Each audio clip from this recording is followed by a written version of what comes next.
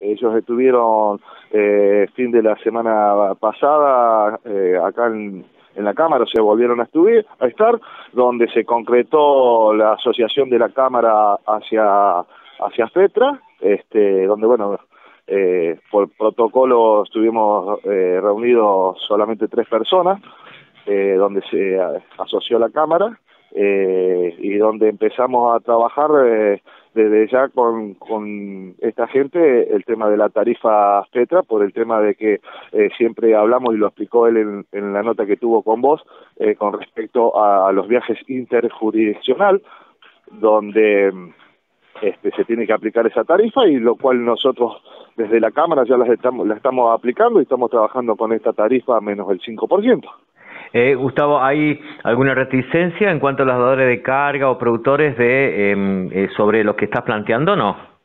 Mira, los clientes que nosotros tenemos hasta el momento no hemos tenido ningún inconveniente, aparte entendiendo de que la, la situación eh, económica del transporte con, con, este tema de la pandemia y demás, y los aumentos que por ahí no, no, no salen al aire, pero que sí están con respecto a combustible y, y lo que demanda eh, el transporte, necesitamos este, e, este aumento para poder viajar. Eh, se está saliendo mucho a Bahía Blanca, lo cual nosotros tenemos cerca de 700 kilómetros para viajar y el consumo de combustible y, demás hace que tengamos que trabajar esta tarifa porque si no eh, eh, eh, lo que nos queda es, muy poco y bueno los,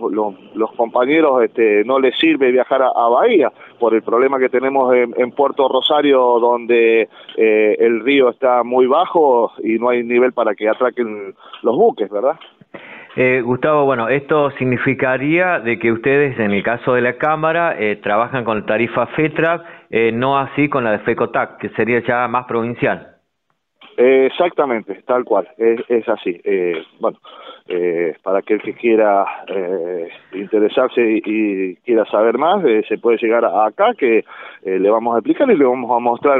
las cartas de deporte y las facturaciones que nosotros estamos haciendo, ¿no es cierto? Es decir, ¿hay una diferencia muy importante en cuanto a las tarifas? Eh, y sí, tenemos una diferencia con respecto a, la tarifa FECOTAC. Eh, estamos hablando de un promedio de 200 pesos, entre los 150, 200, 180 pesos la tonelada, y eso en la cantidad este, es significatorio, ¿no? Gustavo, una pregunta que le hacía al, a quien nos visitó hace algunos días aquí a la Cámara. Eh, ¿Cómo están trabajando ustedes? Me refiero al transporte, a los choferes. ¿Cuál es la situación que viven por esto de la pandemia, teniendo en cuenta que cuando viajan al sur la provincia de La Pampa está complicada? ¿Cuál es la situación que le cuentan los choferes?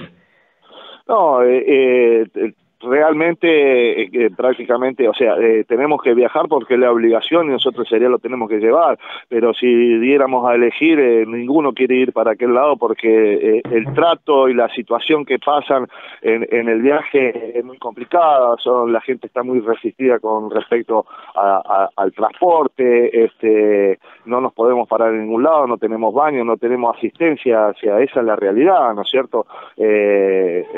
y del puerto de de, Rosario, lamentablemente hay un problema donde eh, cuando uno, si no va con un cereal eh, eh, bien tratado, ¿no es cierto? Y tiene alguna complicación, se complica porque no hay reacondicionadora, este, empiezan a dar vuelta con, con el cereal y, bueno, esa es la, la, la, realidad, ¿viste? ustedes viajan con todos los protocolos, me refiero, los muchachos van con, con sus barbijos, con alcohol en gel, todo eso que se exige.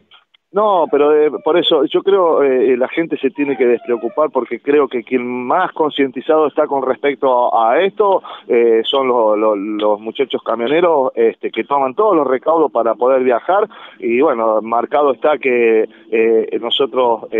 prácticamente no, no hay este, gente contagiada de COVID en el transporte.